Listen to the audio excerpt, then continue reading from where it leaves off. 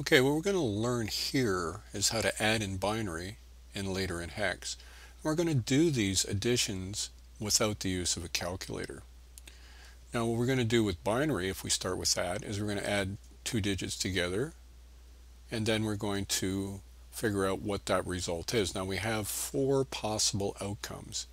We can have a value of 0 when we do that addition, which means we had a result of 0 with no carry.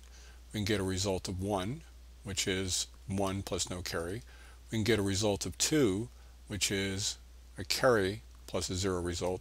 Or we can get a result of 3, where we have a result of 1 plus a carry to the next column. Let's see how that works. So we'll start with 0 and 1. That's 1, which is 0 here for the carry and 1 down here. Then we have 0 plus 1 plus 1, which is 2, which is 1 for the carry and 0 down here. And finally we have 1 plus 1 plus 1, which is an extra ninth bit plus a 1 here. This extra 1 bit that we have over here is called a carry, and we'll see what the significance of that is later.